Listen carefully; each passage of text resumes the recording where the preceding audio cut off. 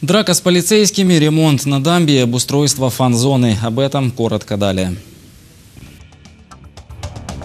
Себе дороже. Троих пьяных дебоширов усмирили полицейские на улице Гудыменко. Патрульные прибыли на вызов жильцов, которым нетрезвая компания мешала спать. Попытки угомонить их товарищей по бутылке восприняли агрессивно и устроили драку. Победили правоохранители.